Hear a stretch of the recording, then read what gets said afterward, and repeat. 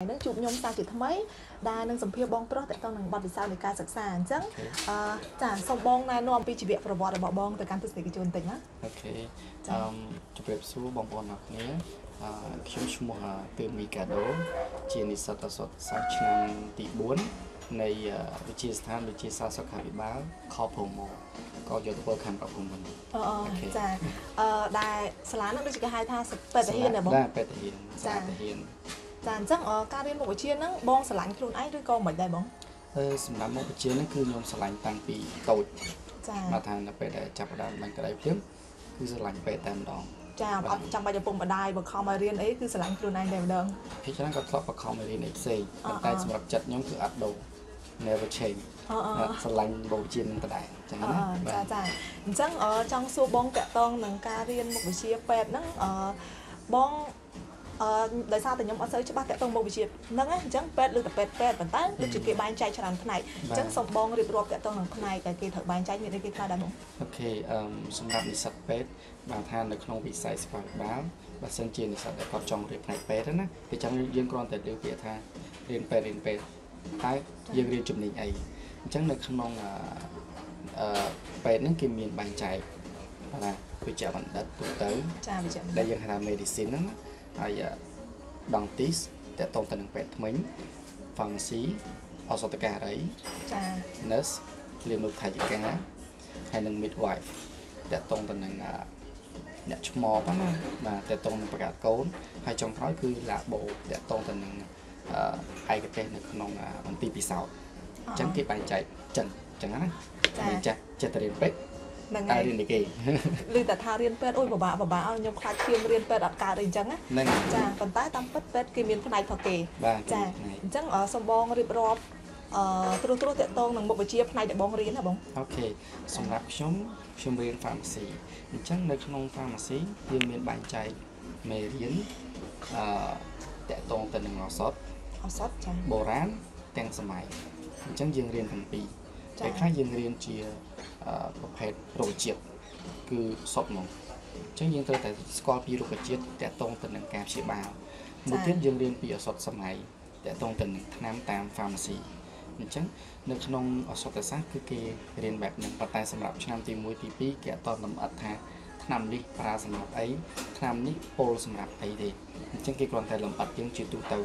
កតងទៅនឹងរូបរូបរាងកាយរបស់យើងតកតងទៅនឹងអាប្រព័ន្ធនៅក្នុងរាងកាយរបស់យើង ថានៅពេលដែលខ្លួនយើងធ្វើអីខ្លះដំណើរពីណាទៅណាអញ្ចឹងអាហ្នឹងគេបរៀនអញ្ចឹងវិញសម្រាប់ pharmacy លុះត្រាតែឆ្នាំទី3ឡើងបានគេបរៀនលំអិតតកតងទៅនឹងថ្នាំពេទ្យតែម្ដងអញ្ចឹងណាបាទចាអញ្ចឹងបងអឺការរៀនពេទ្យដូច pharmacy ដូចបងហ្នឹងតើគេរៀនប្រហែលឆ្នាំដែរនៅសាលាបងសម្រាប់ pharmacy យើងរៀន5ឆ្នាំចាជានិស្សិតឱសថការីឧត្តមហើយយើងចេញមកជាឱសថការីឧត្តម5ឆ្នាំតែបើគាត់ចង់តយក PhD គាត់អាចតយកជំនាញតទៀតបានតកតងទៅនឹងអាបាទថាបើសិនជាសាលាគេបើកឲ្យរៀនអញ្ចឹងគាត់តទៀតចាស់អញ្ចឹងណាចាចាមិញបងដូចជាបានរៀបរាប់ត្រួសត្រាសតកតងនឹងការរៀនមុខវិជ្ជាឆ្នាំទី1ទី2អញ្ចឹងណាបាទប៉ុន្តែដូចជាអត់ទាន់ច្បាស់លម្អិតនៅឆ្នាំទី3ទី4អីបាចឹទងបាទអញ្ចឹងបងអាចជួយណែនាំបន្ថែមតកតងនឹងឆ្នាំបន្តបន្ទាប់សម្រាប់ឆ្នាំទី3គឺ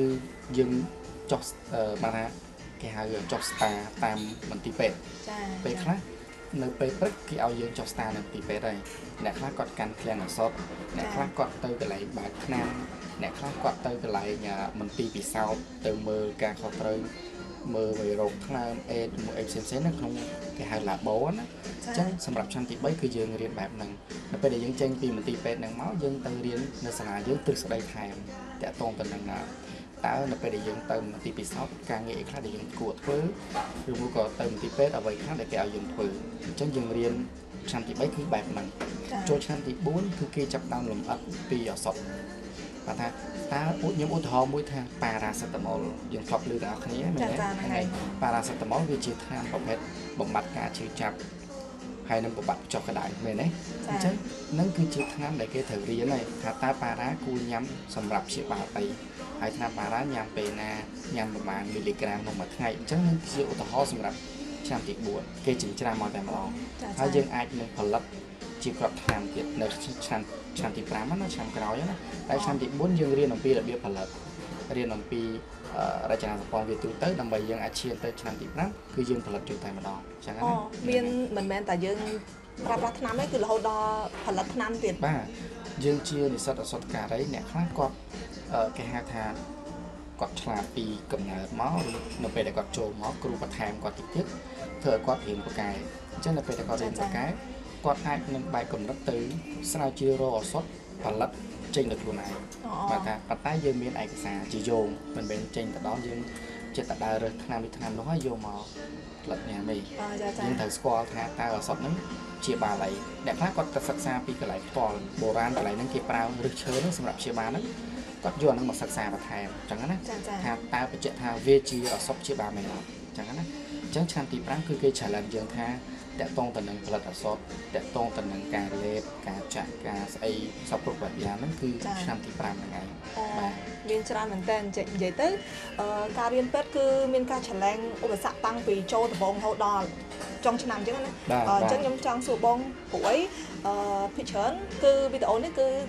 ផ្ដល់ទៅឲ្យបងប្អូនសិស្សានុសិស្សដែលគាត់ទើបតែបញ្ចប់ថ្នាក់ទី12ហើយគាត់ចង់ចូលរៀនមុខវិជ្ជាហ្នឹងអញ្ចឹងបងអឺតើពេលដែលយើងចង់ចូលរៀនដំបូងហ្នឹងគឺយើងបង់លុយចូលរៀនយើងដាក់អាហារូបករណ៍ឬក៏មិនហើយក៏មានអីត្រៀមដែរអញ្ចឹងហ៎បងហឹមសម្រាប់យើងជានិស្សិតដែលចង់ចូលរៀនផ្នែកពេទ្យចាយើងអឺជាទូទៅគេច្បាស់ជាមានថ្ងៃប្រឡងថ្នាក់ជាតិដើម្បីយើងអាចមានសិទ្ធិចូលរៀនបានណាណាចាអញ្ចាចឹង ចាប់ពីឆ្នាំ2014 2015ដល់មកដល់ឥឡូវគឺគេយកការប្រឡងជាធំបើថាយើងប្រឡងចូលដើម្បីបានរៀនអញ្ចឹងណាមុខវិជ្ជាផ្សេងគេគ្រាន់តែមានលុយគឺគេអាចចូលរៀនបានហើយគេចុះឈ្មោះបានហើយប៉ុន្តែសម្រាប់យើងជាវិស័យនៅក្នុងវិស័យសុខាភិបាលនិស្សិតទាំងអស់ត្រូវតែប្រឡងចូលមានលុយបង់ក៏ដោយក៏មិនអាចចូលរៀនបានដែរបើគាត់ប្រឡងមិនជាប់អញ្ចឹងណាពីព្រោះគេប្រឡងដើម្បីបានកៅអីអង្គុយក្នុងថ្នាក់អញ្ចឹងណាបាទបើយើងមានលុយគឺគេអត់ឲ្យយើងចូលរៀនទេ ទាំងឯកជនទាំងរដ្ឋគឺគេអត់ទទួលអញ្ចឹងណាលោកត្រូវតែឆ្លងកាត់ការប្រឡងចាអញ្ចឹងរៀនពេទ្យត្រូវតែឆ្លងកាត់ការប្រឡងហើយបងបាទចុះបើអ្នកចង់បានអាហារូបករណ៍គាត់ធ្វើម៉េចហឹមសម្រាប់អ្នកដែលចង់បានអាហារូបករណ៍អ្វីដែលសំខាន់ គឺយើង search អំពីអឺទីតាំងដែលយើងចង់ទៅរៀនហ្នឹងឬក៏យើងអាចទៅសួរកន្លែងគេផ្ទាល់ថាបងឬមួយក៏លោកគ្រូអ្នកគ្រូខ្ញុំអាចសួរតកតងទៅនឹងអាហារូបករណ៍បានដែរអត់បើសិនជាខាងសាលាផ្ដល់ឲ្យប៉ុណ្នេះតើខ្ញុំគួរតែប្រឡងបាននីតិប៉ុណ្ណាសម្រាប់ទទួលយកអាហារូបករណ៍ប្រមាណភាគរយហ្នឹងមួយទៀតចាអ្នកខ្លះគាត់អឺទៅសួរពីសាលាផ្ទាល់អ្នកខ្លះគាត់ទៅដល់ក្រសួង អាចគាត់ថាបានអញ្ចឹងណាហ្នឹងចាចាអញ្ចឹងអឺអាហារូបករណ៍ក៏មានដែរតែរៀងតិចតួចណាបងហឹមដូចជាខ្ញុំធ្លាប់អឺនៅក្នុងថ្នាក់ខ្ញុំផ្ទាល់ចាអ្នកដែលបានអាហារូបករណ៍100%ពេញគឺ3នាក់បាទហើយគាត់ថាគាត់ប្រឡងបាននីតិអាពីទី12មកអណាអអចាញ្ចឹងអឺនៅពេលដែលគាត់ត្រៀមប្រឡងចូលពេទ្យហ្នឹងគឺគាត់ទៅសុំពីសាលាផ្ទាល់មកថាខ្ញុំនិស្សិតគឺថាយើងអឺ មិនសមមានអត្ថភាពក្នុងការបង់ថ្លៃសាលាអញ្ចឹងខ្ញុំចង់រៀនផ្នែកនេះហើយខ្ញុំចង់បានអាហារូបករណ៍តើខ្ញុំគួរតែធ្វើយ៉ាងម៉េចដើម្បីបានប្រឡងដើម្បីទទួលបានអាហារូបករណ៍ពេលរៀនអញ្ចឹងណាដើម្បីកុំឲ្យយើងបង់ថ្លៃអញ្ចឹងអ្វីដែលយើងអាចធ្វើបានយើងជានិស្សិតពេលចប់ទី12ភ្លាមហ្នឹងគឺយើងស្រាវជ្រាវស្វះស្វែងទៅម្ដងចាទៅចាដល់វិទ្យាស្ថានឬមួយក៏សាកលវិទ្យាល័យណាមួយដែលគេផ្នែកវិស័យសុខាភិបាលរៀនពេទ្យហ្នឹងណាទៅសួរគេផ្ទាល់មកថាខ្ញុំចង់បានអាហារូបករណ៍ផ្នែកនេះប្រមាណភាគរយប្រមាណភាគរយ តើខ្ញុំគួរធ្វើម៉េចអញ្ចឹងណាអញ្ចឹងនេះគឺជាអ្វីដែលអ្នកទី12បងប្អូនដែលចង់បានអញ្ចឹងណាបាទអឺចាចាអឺអញ្ចឹងក៏តកតងទៅនឹងមុខវិជ្ជាដែលប្រឡងហ៎បងគាត់និយាយថាប្រឡងចូលអញ្ចឹងមុខវិជ្ជាអីដែលសំខាន់សម្រាប់ពួកគាត់ប្រឡងធៀមប្រឡងចូលហឹមសម្រាប់មុខវិជ្ជាគឺយើងមានតែ3ទេចា៎ដែលប្រឡងចូលណាទាំងអឺ pharmacy ទាំង dentist ទាំង medicine គឺយើងប្រឡង3មុខចាចាគណិតជីវៈគីមី គណិតជីវៈគីមីបាទចា៎ទាំងទាំង3ហ្នឹងគឺបងប្អូនត្រូវតែរឹងមាំពីគឺដំបូងមកอะទី12គឺយើងអាចបានខ្លះមកអញ្ចឹងនៅពេលដែលយើងចូលរៀនត្រៀមមួយគេត្រៀមប្រឡងពេទ្យហ្នឹងគឺគេរៀនមុខវិជ្ជាហ្នឹងដដែលប៉ុន្តែរបៀបធ្វើនិងលំហាត់គឺខុសគ្នាប៉ុន្តែគឺយើងមុខវិជ្ជាហ្នឹងដដែលលេងសំខាន់តើគាត់តើបងប្អូនដែលជានិស្សិតទប់ជាប់ទី12ហ្នឹងតើគាត់មានអឺ commitment ខ្លួនឯងណាចា ពេលខ្លះគាត់អត់យល់ពីទី12មកឯងមែនអត់ប៉ុន្តែនៅពេលដែលគាត់ចូលមករៀននៅគួរមួយគេធ្វើឲ្យគាត់យល់ខ្លាំងដោយសារតែគាត់ខំប្រឹងតែ3មុខហ្នឹងឯងហើយគាត់ខំប្រឹងធ្វើម៉េចទិញអាហ្នឹងឲ្យចាំខំប្រឹងធ្វើខំប្រឹងមើលខំប្រឹងរៀនគួរមួយគេយល់លំហាត់ធ្វើសារឡើងសារចុះអាហ្នឹងគាត់អាចធ្វើបានដែរមិនមែនថាលុះត្រាតែគាត់អឺខ្សោយពីនោះហើយខ្សោយពីទី12ហើយគាត់ចង់ចូលរៀនពេទ្យបែរជាគាត់គិតថាគាត់ខ្លួនឯងខ្សោយណាចាអញ្ចឹងមិនគិតទេសំខាន់ តែយើងអាចធ្វើបានអត់3មុខហ្នឹងអញ្ចឹងណាចាចាបងអញ្ចឹងអឺ3មុខហ្នឹងសំខាន់ប៉ុន្តែអញ្ចឹងនិយាយថាបើយើងចេះ3មុខហ្នឹងតាំងពីទី12មកគឺយើងមានលទ្ធភាពប្រឡងជាប់ហ្មងឬក៏យើងត្រូវការរៀនបន្ថែមមុននឹងប្រឡងបងជាទូទៅគ្រប់និស្សិតទាំងអស់ត្រូវតែត្រៀមប្រឡងចាត្រៀមប្រឡទៅងត្រៀមជាមួយនឹងគេដតីទៀតដែលគេទៅប្រឡងចប់ហើយដូចគ្នាបើយើងគ្រាន់តែត្រៀមតែទី12យើងឆ្អិនពីទី12ហ្នឹងមកទេ គឺលំហាត់គឺគេមានកម្រិតរបស់គេពីព្រោះយើងប្រឡងចូលឧត្តមសិក្សា យើងមិនមែនប្រឡងត្រឹមវិទ្យាល័យទេអញ្ចឹងលំហាត់ក៏គេមានលើនឹងដែរអញ្ចឹងអើយបងប្អូនត្រូវតែរៀននៅនោះអាចថាធ្វើម៉េចយកជាគ្រឹះខ្លួនឯងមកចាចាដើម្បីយើងអឺចូលរៀនត្រៀមប្រឡងពេទ្យមួយគេ3ខែហ្នឹងគឺសំខាន់ឲ្យគាត់មើលឡើងវិញចិញ្ច្រាំមកអ្វីដែលគាត់បានយល់ពីនោះមកជាគោលណាជា basic របស់គាត់មកដល់គាត់ស្រួលរៀនជាងគេហេតុតែមិនថាស្រួលរៀនដោយសារគាត់ចេះពីនោះហើយហើយចាចាអញ្ចឹងមកដល់គាត់ខំប្រឹងថែមទីងទួច ក៏លើដែលគ្រូប្រាប់ថាទៅសេចេះសេចេះព្រោះគេបដូររបៀបសរសេរអញ្ចឹងទាំងអស់ហ្នឹងគឺលើគាត់ខ្លួនឯងអញ្ចឹងណាចាបងហើយអឺបងស្គាល់កន្លែងដែលត្រៀមប្រឡងហ៎រៀនត្រៀមប្រឡងហ្នឹងមាននៅណាខ្លះបងអូខេសម្រាប់បងប្អូនដែលចង់រៀនបន្តសម្រាប់ត្រៀមប្រឡងចូលពេទ្យហ្នឹងណាចាចាយើងមានអឺនៅភ្នំពេញនៅភ្នំពេញយើងមានអឺដូចជាសាលាជ័យធាវីបងប្អូនអាចស្គាល់ហើយម្ដុំអឺហៅបាក់ទុកហ្នឹងណាហើយអឺសាលាស្លឹករឹត ក៏បងប្អូនអ្នកខ្លះក៏អត់ស្គាល់ទេហ្នឹងហើយហ្នឹងហើយហ្នឹងអហើត់យស្គាល់អញ្ចឹងបងប្អូនអាចស្រាវជ្រាវកន្លែងពីរហ្នឹងទៅគឺគេត្រៀមប្រឡងចូលរៀនពេទ្យហើយអញ្ចឹងបងប្អូនបងប្អូនជាជាអឺសិស្សដែលតប់ជាប់ហ្នឹងជាប់ភ្លាមហ្នឹងគឺមកត្រៀមភ្លាមមកមិនចាំចាំទេគិតថាខ្លួនឯងជាប់ហើយណាកុំគិតរឿងនីតិអសោះចាចាធ្វើម៉េចជាប់អឺប្រឡងឲ្យភ្លាមឡើងមកភ្លាមមកចាបើយើងបើថាយើងទុកចិត្តហ្នឹងណាថាខ្លួនយើងជាប់ហើយអញ្ចឹងកុំនៅសេ ណាកុំនៅនៅចាំលទ្ធផលចាំមើលអីមិនបាច់ចាំមើលអីគឺមករៀនត្រៀមមួយគេពីព្រោះពេលវេលាតែ3ខែចា3ខែហ្នឹងគឺយើងរៀន3មុខយល់ហ្នឹងទេហើយហ្នឹងហើយ3មុខចូលគ្នាគឺធ្វើម៉េចខំប្រឹងចាចានិយាយទៅឧបសគ្គឆ្នាំទី1គឺមានប៉ុណ្្នឹងឯងបងចុះសម្រាប់អឺឧបសគ្គឆ្នាំបន្តបន្តដែលបងតែងតែជួបប្រទះពេលដែលបងសិក្សាខ្លួនឯងអញ្ចឹងមានអីគេខ្លះដែរបងសម្រាប់អឺសម្រាប់ខ្ញុំផ្ទាល់អឺជានិស្សិតអសតសាស្ត្រអញ្ចឹងអឺ challenge ឆ្នាំទី2 មកថាឆ្នាំទី1យើងឆ្លងកាត់ហើយហើយចាចាមេរៀនច្រើនសម្រាប់ឆ្នាំទី1ហ្នឹងណាចាពេលព្រោះយើងចូលដំបូងយើងត្រូវគប់ពីសភៅយើងត្រូវទិញសភៅគ្រប់មុខវិជ្ជាហើយសភៅមិនស្ដើងទេចាវាក្រាស់ក្រាស់អញ្ចឹងក៏អាចចំណាយច្រើនអ្នកខ្លះគាត់មានលទ្ធភាពគាត់អាចទៅទិញកឡយកមកប្រើអញ្ចឹងណាសភៅទៅទៅនឹងកឡអ្នកខ្លះគាត់អត់មានលទ្ធភាពសុំព្រីនពីគេមកប៉ុន្តែគាត់ថាឯកសារឆ្នាំទី1គឺច្រើនតិចបងប្អូនត្រូវចំណាយច្រើនតិចចាចាឆ្នាំទី2ទី3វាចាប់ផ្ដើមបន្ថយឯងដោយសារតែគេចាប់ផ្ដើម ឆ្លិចចូលទៅក្នុងជំនាញរបស់យើងអញ្ចឹងគេបន្ថយមុខវិជ្ជាខ្លះមិនឲ្យដូចឆ្នាំទី1ទេចាអញ្ចឹងនេះគឺជា challenge សម្រាប់បងប្អូនដែលចង់រៀនបន្តផ្នែកវិស័យពេទ្យណាចាចាអឺបងដូចជាលើគេនិយាយថាអ្នកដែលរៀនពេទ្យត្រូវការចេះបារាំងអីបងអត់អត់អញ្ចឹងពេលដែលបងរៀនមានបារាំងដែរអឹមហ្នឹងហើយគេនិយាយត្រូវពីព្រោះអីឯកសារតាក់ទងទៅនឹងវិស័យពេទ្យណាចាពីច្រើនយើងមានភាសាបារាំងច្រើនដោយសារតែ នៅក្នុងឯកសារដែលយើងត្រូវរៀនហ្នឹងគេប្រើបារាំងសុទ្ធអញ្ចឹងបើសិនជានិស្សិតដែលគាត់ចង់ចូលរៀនផ្នែកពេទ្យណាគាត់ត្រូវតែមានគ្រឹះខ្លះមកបាទថាគាត់មានគ្រឹះជាភាសាបារាំងខ្លះមកដើម្បីឲ្យខ្លួនឯងចូលរៀននៅក្នុង foundation year ឬមកក៏អឺឆ្នាំទី2អីហ្នឹងគឺគេប្រើភាសាបារាំងបាទហើយអញ្ចឹងបងប្អូនអាចរៀនរៀនបន្ថែមទៅចង់និយាយចឹងណាថាបើចង់បើចង់រៀនមែនបើចង់រៀនផ្នែកពេទ្យមែនរៀនបារាំងទៅ ហើយអង់គ្លេសអង់គ្លេសដែរអអត់ង់បងគ្លេសគឺភាសាទី2ហ្នឹងមែនទីទេ2អូអញ្ខេចឹងភាសាទី2នេះគឺគេប្រើជាទូទៅអញ្ចឹងបងប្អូនត្រូវតែចេះមួយហ្នឹងមែនទេតែអ្វីដែលសំខាន់តើយើងគួរតែមានភាសាបារាំងថែមអត់បើសម្រាប់ខ្ញុំគឺគួរតែមានពីព្រោះអីឯកសារពេទ្យយើងប្រើបារាំងសឹងតែ90%ហ្នឹងអញ្ចឹងអូណាអញ្ចឹងហ្នឹងហើយដាច់ខាតគឺអ្នកដែលចង់រៀនខាងហ្នឹងគឺត្រូវតែចេះភាសាបារាំងហ្នឹងទៅបាទពេលខ្លះយើងដល់សាលាណាដូចជាចា៎ពុទ្ធិសាសន៍អាយុ គេយកភាសាអង់គ្លេសជាគោលដោយសារតែអូវាអឺ system គេយកតាមបរទេសតាមហ្នឹងហើយអង់គ្លេសណាប៉ុន្តែមិនមែនប្រកាសថាគាត់ប្រើអង់គ្លេសតែមួយមុខហ្នឹងគ្រប់គ្រាន់ទេចាអចាញ្ចឹងត្រូវតែមានភាសាបារាំងផងដែរព្រោះឯកសារពេលអញ្ចឹងគេបកពីបារាំងមកអង់គ្លេសពីអង់គ្លេសទៅបារាំងពេលខ្លះយើង search មើលនៅក្នុងអឺ YouTube ឬក៏ Google ណាយើងវាយជាភាសាអង់គ្លេសមែនអត់បើគាត់ចេះបារាំងណាចាប៉ុន្តែឯកសារចេញមកគឺឃើញបារាំងមុនគេមកពីច្រើនហ្នឹងហើយហ្នឹងបាហើយទអអញ្ចឹងហ្នឹងតកតងនឹងឧបសគ្គអឺ គឺតកតងនឹងភាសាជុំមានអីគេទៀតដែលអត់បងពួកអីអឺមេរៀនរបៀបថាមុខវិជ្ជាហ្នឹងគឺប៉ះពាល់ដល់អាយុជីវិតហឹមហឹមអញ្ចឹងអឺការរៀនត្រូវតែឲ្យចេះប្រកបទៅអត់បង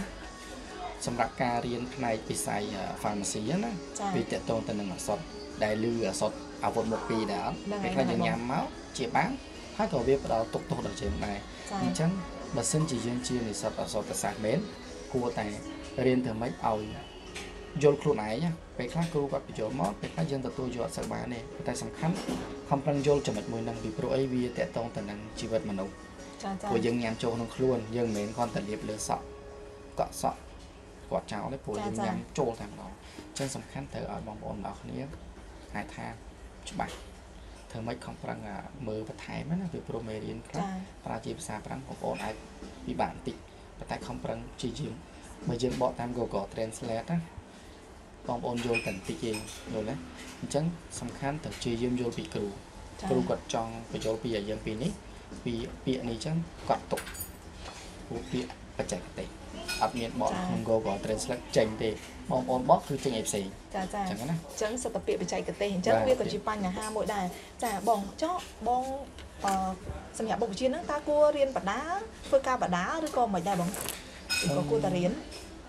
សម្រាប់ជានិស្សិតអក្សរសាស្ត្រយើងអាចបែងចែកជាពីរបើសិនជាគាត់មានលទ្ធភាពហើយចាគាត់រៀនសុទ្ធទៅណាថាគាត់អឺ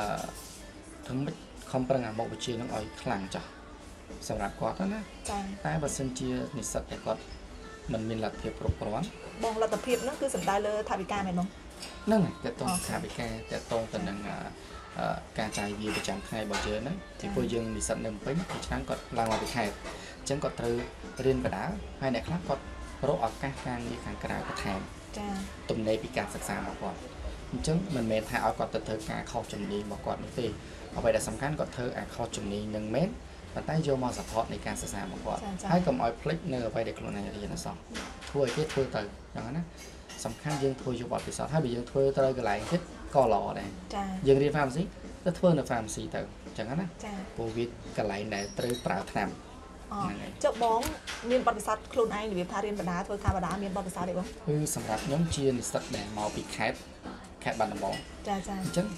ហើយមិនមែនជានិស្សិតដែលទុធាទេយើងជានិស្សិតដែលអាហារូបករណ៍ខ្ញុំបានអាហារូបករណ៍100ពេញបាន100%ហ្មងបាទ100%នៅពេលហ្នឹងខ្ញុំប្រឡងដូចជាបានលេខ7ចំណោម3000នាក់អញ្ចឹងធ្វើឲ្យខ្ញុំបានអាហារូបករណ៍ពីប្រទេសអូស្ត្រាលីអញ្ចឹងគាត់ភេឲ្យខ្ញុំ5ឆ្នាំពេញ ចាចាអញ្ចឹងអាចថាជាឱកាសមួយសម្រាប់ខ្ញុំចោះវាមានមោទនភាពបន្តិចចោះដែលយើងបានអាហារូបករណ៍ណាចាចាប៉ុន្តែបើសិនជាសម្រាប់ខ្ញុំផ្ទាល់ក្នុងទោះបីជាខ្ញុំបានអាហារូបករណ៍រៀនក៏ដោយក៏ខ្ញុំនៅតែឆ្លៀតធ្វើការដែរពីព្រោះអីខ្ញុំគិតថាយើងរៀនបដាធ្វើការបដាវាជា challenge មួយសម្រាប់យើងយើងគិតថាឧបសគ្គហ្នឹងគឺវាបង្រៀនយើងទេកាលណាយើងរៀនបដាយើងធ្វើការគេបដាគឺយើងទៅយល់ពីពិភពខាងក្រៅថាគេធ្វើអីខ្លះ តើគេផ្ដល់ recommend តើគេផ្ដល់ថ្នាំឲ្យអ្នកជំងឺលេបរបៀបម៉េចតើគេផ្ដល់ថ្នាំម៉េចទៅជំងឺបែបម៉េចអញ្ចឹងនេះហើយគឺជាអឺអ្វីដែលនិស្សិតគាត់គួរតែដឹងណាហ្នឹងហើយបើសិនជាគាត់មានលទ្ធភាពហើយអូខេគាត់អាចរៀនសុទ្ធចោះប៉ុន្តែធ្វើម៉េចឲ្យច្បាស់ចាប៉ុន្តែមិនមែនចោលថាធ្វើការបដារៀនបដាអត់ច្បាស់ទេសំខាន់តើបុគ្គលហ្នឹងគាត់ដាក់ commit ខ្លួនឯងប៉ុណ្ណាគាត់ធ្វើការឲ្យគេហ្នឹងគាត់ចង់បានបទពិសោធន៍ឬក៏គាត់ ចង់បានអីផ្សេងអញ្ចឹងណាអញ្ចឹងរៀនបដាធ្វើការបដាសម្រាប់ខ្ញុំគឺអូខេហើយសម្រាប់ខ្ញុំហ្នឹងណាព្រោះអីយើងចេះទាំងក្នុងសាលាចេះទាំងខាងក្រៅចាចឹដូចងថាណាដូចថាយើងមានកន្លែងការងារហើយទៀតណាបាទចំណេញអាចថាយើងមានទីផ្សារហើយស្រេចចាពេលយើងចប់ភ្លាមបើយើងធ្វើការគេល្អយើងជានិស្សិតមែនប៉ុន្តែយើងហើយបន្ទាបខ្លួនព្រោះយើងចង់ចេះចាអញ្ចាចឹងយើងត្រូវតែទៅធ្វើកន្លែងគេទៅយើងកុំខ្លាចអៀនអសោះអញ្ចឹងណាចាហ្នឹងហើយអញ្ចឹង យើងបានពីរហ្នឹងគឺខ្លាំងខ្លាំងតែម្ដងអឺអញ្ចឹងអឺសម្រាប់បងគាត់ថាគួរតែរៀនបដាធ្វើការបដាចាបាទអឺនិយាយទៅការរៀនមុខវិជ្ជាអីក៏ដោយគឺតែងតែមានឧបសគ្គអញ្ចឹងបាទអឺខ្ញុំចង់ឲ្យបងនិយាយតាក់ទងទូទៅបងមើលឃើញថាភិកច្រើននិស្សិតពេទ្យគឺគាត់រៀនគឺគាត់និយាយថាពេលដែលចូលរៀនប៉ុណ្ណឹងចប់វិញប៉ុណ្ណឹងឬក៏ភិកច្រើនគឺគាត់បោះបង់ការសិក្សាកណ្ដាលទីដែរបងហឹមហើយបើសិនជាបោះបង់មូលហេតុអីអូខេអឺសម្រាប់ខ្ញុំតល់ណាអ្វីដែលចាខ្ញុំចាធ្លាប់ជួបនៅក្នុងថ្នាក់ខ្លួនឯងប៉ុន្តែ ខ្ញុំជាប្រធានថ្នាក់អញ្ចឹងខ្ញុំអាចយល់ខ្លះចាចាដោយសារតែយើងមានសមាជិកនៅក្នុងថ្នាក់គាត់អ្នកខ្លះគាត់អត់ស្រឡាញ់ពេទេគាត់ស្រឡាញ់ចាគ្រូស្រឡាញ់មុខវិជ្ជាផ្សេងប៉ុន្តែសម្រាប់គ្រូសាស្ត្រគាត់ recommend ឲ្យគាត់រៀនអាហ្នឹងអញ្ចឹងបើគាត់មិនតាមទេក៏គាត់មិនមានលុយទៅរៀនឯផ្សេងដែរអញ្ចឹងគាត់ត្រូវតែតាមតាមម៉ាក់គាត់សិនចាប៉ុន្តែគាត់តាមហ្នឹងតាមទាំងខុសទិសដៅរបស់គាត់ខុសគំនិតរបស់គាត់អ្វីដែលគាត់ចង់បានអត់បានរៀនទេអញ្ចឹងវាអត់បានជោគជ័យសម្រាប់គាត់ធ្វើគាត់ consult ចោល អ្នកខ្លះ consult ប្រឡងជាប់ពេទ្យហើយចូលរៀនឆ្នាំទី1 consult តាមឆ្នាំទី1អ្នកខ្លះចាអត់ consult ពីឆ្នាំទី1ទេប៉ុន្តែទៅឆ្នាំទី3ទី4ទី5 consult នៅលើនោះវិញចាដោយសារគាត់អត់ចូលចិត្តអញ្ចឹងរៀនក៏វាមិនជោគជ័យដែរអញ្ចឹងណាអញ្ចឹងនេះជាអ្វីដែលដែលអ្នកដែលបោះបង់ការសិក្សាបោះបង់មុខវិជ្ជាពេទ្យនឹងចោលអញ្ចឹងណាអ្នកខ្លះទៀតដោយសារតែជីវភាពអើយខ្វះខ្លាំងពេកដែលគេដែលដែលពេលចូលរៀនហ្នឹងណាធ្វើគាត់អត់អាចទៅមុខទៀតបានអញ្ចឹងគាត់ត្រូវតែផ្លាស់ប្ដូរមុខជំនាញហ្នឹងគាត់ទៅរៀនមុខជំនាញទី2ដែលគាត់ឆ្លាញ់ចាតោះតែឆ្លាញ់ពេទ្យហើយប៉ុន្តែរៀនពេទ្យអត់បានទេដោយសារអត់មានលុយចាចាអញ្ចឹងគាត់អាទី2របស់គាត់ដែលគាត់ឆ្លាញ់ហ្នឹងតែគាត់ឆ្លាញ់តែគេអញ្ចឹងគាត់ទៅរៀនអាហ្នឹងទៅវាមិនខុសអីទេរៀនបដាធ្វើការគេបដាទៅមិនសមលុយបើសិនអញ្ចឹងចង់រៀនពេទ្យហ្នឹងសមលុយរៀនពេទ្យខ្លួនឯងទៅអញ្ចឹងនេះជាអ្វីដែល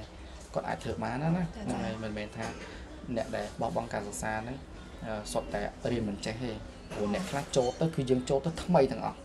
មិនមែនគាត់ទៅមិនមែនគាត់រៀនហើយណាព្រោះយើងចូលទៅចូលទៅថ្មីទាំងអស់គ្នាចាចាអញ្ចឹងខំប្រឹងទាំងអស់គ្នាមិនថាយើងធ្វើម៉េចខំប្រឹងខ្លួនឯងចង់អញ្ចឹងណាចាហ្នឹងហើយចាំមានលក្ខខណ្ឌដែលថារៀនទៅពិបាកពេកឈប់អត់បងមិនឃើញអត់ហើយបើសិនជាលក្ខខណ្ឌពិបាកពេកណាចាខ្ញុំគិតថាគ្រប់មុខវិជ្ជាវាមានវាមានអាប្រភេទផ្សេងផ្សេងៗគ្នាពិបាកដូចគ្នាចាអចាញ្ចឹងបើសិនជាគាត់ផ្ដោតទៅលើមុខវិជ្ជាដែលគាត់ចង់រៀនហ្នឹងឧទាហរណ៍ថា pharmacy ហ្នឹងចោះ បើគាត់ចង់រៀន pharmacy ហ្នឹងមែនតើគាត់អឺ challenge ខ្លួនឯងប៉ុណ្ណាភាសាពាក្យបច្ចេកទេស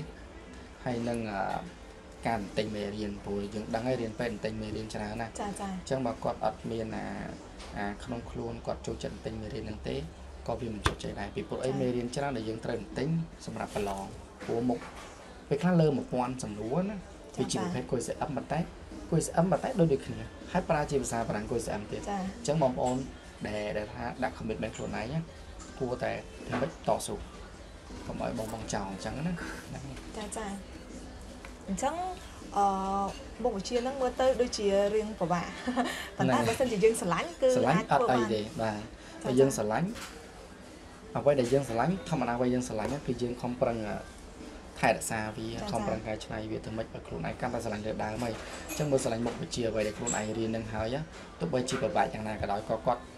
ស៊ូរហូតដល់ទីបញ្ចប់ចាចាបាទបងអញ្ចឹងអឺមុខវិជ្ជា pharmacy អញ្ចឹងបាទដោយសារតែមុខវិជ្ជាបាទចុះខាងផ្នែក pharmacy ហ្នឹងតាមឱកាសការងារមានតែខាងផ្នែកអសត់ឬក៏មិនដែរបងមានអីផ្សេងអត់សម្រាប់ឱកាសការងារទីផ្សារផ្នែកអសតសាស្ត្រចាចានិស្សិតដែលគាត់រៀនផ្នែកអសតហ្នឹងណាឱកាសការងារនៅខាងក្រៅមានដូចជាតាមមន្ទីរពិសោធន៍ ចាព្រោះនៅក្នុង pharmacy គឺគេបង្រៀនអំពីរបៀបពិសោធន៍របៀប labo គឺគាត់អាចចេញទៅគាត់ធ្វើនៅ labo បានមួយទីពីរគាត់អាចទីផ្សារនៅតាម pharmacy កន្លែងដែលគេបើកហ្នឹងណាគាត់អាចចូលទៅធ្វើនៅបានអញ្ចឹងណាហើយទី3គាត់អាចទៅតាមសហគ្រាសផលិតឱសថគាត់មានសិទ្ធិចូលឡើងហ្នឹងបាន គាត់មានសិទ្ធិធ្វើជា internship របស់គេសិនហើយចាំគាត់ធ្វើតាមក្រោយអញ្ចឹងណាចាហើយពេលដែលគេឃើញអំពីអឺតម្លៃរបស់យើងថាយើងធ្វើរយៈពេល3ខែនឹងល្អអូខេគេនឹងរើសចូលយើងហើយអញ្ចឹងនេះគឺជាទីផ្សារសម្រាប់សពអ្នកខ្លះគាត់អត់ចង់ធ្វើឲ្យគេទេគាត់ចង់ផលិតថ្នាំខ្លួនឯងអអអញ្ចឹងបងប្អូនអាចស្រាវជ្រាវខ្លួនឯងហើយរកថ្នាំដោយថាដោយសារមានអឺគ្រូជាអ្នកដឹកនាំអញ្ចឹងយើងផលិតថ្នាំខ្លួនឯងទៅដាក់ឈ្មោះយើងក៏បានឈ្មោះពីណាក៏បានដែរបើយើងអ្នកផលិតយើងដាក់ឈ្មោះយើងទៅ ជាអសតរបស់យើងមកដែរអ្នកខ្លះគាត់ចង់អញ្ចឹងគាត់ចង់បើកលក់ខ្លួនឯងអញ្ចឹងបើកលក់ខ្លួនឯងនៅពេលដែលទីផ្សារនៅពេលដែលគាត់រៀនចប់5ឆ្នាំគាត់មានសិទ្ធិបើកដែរអញ្ចឹងណាចាអញ្ចឹចាងគាត់មានដើមហើយគាត់បើក pharmacy មួយតូបក៏បានវាជាសិទ្ធិរបស់គាត់ហ្នឹងណាជាសញ្ញាបត្រដែលគាត់មានអញ្ចឹងអត់ខ្លាចហើយកុំគិតថាទីផ្សារជាអៀតផ្សោះ បើបងប្អូនអត់ចេញក្រៅទេបងប្អូនគិតតែនៅជាអៀតជាអៀតដដែលអញ្ចឹងណាបាទចាអញ្ចឹងជាចុងក្រោយតើបងមានអឺមតិអីផ្ដាំផ្ញើទៅកាន់បងប្អូនដែលគាត់ចង់រៀនផ្នែកអសត់នឹងដែរអូខេចាអឺសម្រាប់បងជានិស្សិតព្រោះបងអត់តន់អឺជាប់នៅឡើយទេចានៅសល់មួយឆ្នាំណានៅសល់មួយឆ្នាំចុងក្រោយបងគិតថាហើយសម្រាប់បងក៏បងធ្វើការបដាបងរៀនបដាដែរជាពិសេសបងធ្វើកន្លែងអសត់ទៀតចាពេលខ្លះបងទៅធ្វើវិស័យផ្សេង ក៏បងមក support អសតរបស់បងដែរមិនមែនថាយើងរៀនអានេះហេតុអីក៏ទៅធ្វើឲ្យផ្សេងអញ្ចឹងណាបើសិនជាបងប្អូនអត់មានជំនឿធ្វើសិនចោះប៉ុន្តែកុំភ្លេចមុខវិជ្ជាខ្លួនឯងចា៎ហើយមួយទៀតបើសិនជាចង់រៀនអក្សរមែនខំប្រឹងមុខវិជ្ជាត្រៀមប្រឡង3មុខដែលបងនិយាយពីខាងដើមហ្នឹងចា៎គឺខំប្រឹងឲ្យមែនទែនទៅព្រោះយើងអាចថាលើគេណាពេលយើងចេះពីក្រោមហើយណាអញ្ចឹងដល់ពេលដែលយើងមករៀនគួរយើងរៀនមួយគ្រូបន្ថែមហ្នឹងគឺគេថ្មីដូចគ្នាយើងក៏ថ្មីគេក៏ថ្មីអញ្ចឹងខំប្រឹង យល់ទេចា៎ចា៎ហ្នឹងហើយអអញ្ចឹងអ្វីដែលផ្ដាំផ្ញើគឺមានតែប៉ុណ្្នឹងឯងបងចុងមានមានមតិអីចង់ក្រោយអីអត់ទេអូខេចា៎សម្រាប់អឺជាចុងក្រោយហើយបងសនងពោថាហើយខំប្រឹងប្រឡងទី12ឲ្យចប់សិនចោះចាចាបើថាធ្វើកុំតន់គិតដល់អាឧត្តមសិក្សាព្រោះបើយើងគិតអានោះពេកអាទី12យើងអាចបានឆ្លងកាត់ទេសំខាន់ឆ្លងកាត់អានឹងឲ្យផុតសិន ហើយបើឆ្លងកាត់ផុតហើយចាំយើងទៅគិតអានោះទៀតអញ្ចឹងណាកុំគិតអីបែរឆ្វេងអសោះបើយើងជាទី12ហ្នឹងណាហើយយើងចង់រៀនផ្នែកពេទ្យហ្នឹងទៀតខំប្រឹងរៀនប្រាំបន្ថែមចុះអានេះអ្វីដែលបងប្រាំផ្ញើអ្វីដែលបងចង់និយាយបងគិតថាបទពិសោធន៍បងវាមិនមានច្រើនប្រហែលទេប៉ុន្តែវាអាចនឹងផ្ដល់ឲ្យបងប្អូនដែរចំណន់បងរៀនក៏មិនមានអ្នកមកនិយាយប្រាប់ចឹងដែរចាចាហ្នឹងហើយបងស្រាវជ្រាវខ្លួនឯងបងខំប្រឹងខ្លួនឯងប៉ុន្តែពេលនេះបងប្អូនមានអ្នកដែលគាត់ធ្លាប់រៀនពីមុនមកគាត់ចែករំលែកបទពិសោធន៍ មិនមែនថាគេអ្នកល្បីទេប៉ុន្តែគឺនិស្សិតដូចគ្នាអញ្ចឹងចង់ចែកអ្វីដែលយើងដឹងទៅកាន់បងប្អូនដែលគាត់ឡើងមកថ្មីថ្មីក៏មកឲ្យគាត់មកដល់បែរជាបោះបង់ចោលអញ្ចឹងចាចាឆាប់តែមករៀនអត់ដឹងអីទាំងអស់គឺគាត់ចាប់ផ្ដើមអះអន់ចិត្តខ្លួនឯងគាត់ថាគាត់ទៅអត់រួចទេអញ្ចឹងបងគាត់ថានេះជាអ្វីដែលពិសេសសម្រាប់បងប្អូនហើយអញ្ចឹងណាបងប្អូនអាចនឹងមើលទៅហើយស្ដាប់យកជាកំណត់ខ្លះឬក៏ទទួលខ្លះបានខ្លះបងប្អូនអាចគិតមើលខ្លួនឯង ថាតើយើងគួរតែរៀនមុខវិជ្ជានឹងដែរអត់តើយើងស្រឡាញ់ដែរអត់អញ្ចឹងណាហ្នឹងហើយចាចាហ្នឹងហើយខ្ញុំក៏ចង់អឺខ្ញុំក៏មានមតិបន្ថែមតកតងទៅនឹងបញ្ហាការជ្រើសរើសមុខវិជ្ជាហ្នឹងអញ្ចឹងបានជាខ្ញុំបញ្ជាអឺចេញជាវីដេអូហ្នឹងដោយសារតែឃើញសិស្សានុសិស្សជាច្រើនគឺគាត់រៀនតាមគ្នារៀនតាមឪពុកម្ដាយអញ្ចឹងទៅប៉ុន្តែមិនកើតចេញពីការឆ្លាញ់ផាក់គាត់តែពេលខ្លះគាត់ឆ្លាញ់ដែរប៉ុន្តែគាត់ទៅរៀនខុសវិញហ្នឹងហើយវាថារៀនខុសដោយសារតែយល់អត់ច្បាស់អំពីមុខវិជ្ជាហ្នឹងអញ្ចឹងបាទចង់ឲ្យអ្នកទាំងអស់គ្នាព្យាយាមសិក្សាអំពីមុខវិជ្ជាអឺ នីមួយនីមួយហើយសំខាន់ជាងហ្នឹងគឺសិក្សាអំពីខ្លួនឯងតើខ្លួនឯងស្រឡាញ់អ្វីឲ្យពិតប្រាកដព្រោះនៅពេលដែលយើងធ្វើអ្វីដែលយើងស្រឡាញ់គឺយើងពេញចិត្តហើយយើងនឹងតស៊ូរហូតដល់តែទទួលបានជោគជ័យអញ្ចឹងចាអរគុណបងច្រើនដែលបានចែកម្លែកបទពិសោធន៍ហើយក៏អរគុណទស្សនិកជនទាំងអស់គ្នាដែលបានចំណាយពេលដែលមានតម្លៃតាមដានទស្សនាបើសិនជាមានសំណួរអីអាចតាក់ទងសួរនៅខាងក្រោមបានបាយបាយបាយបាយ